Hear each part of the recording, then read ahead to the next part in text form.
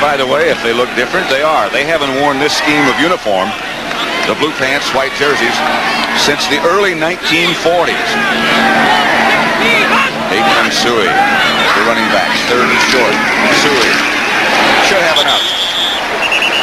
They're at the Packers 32-yard line.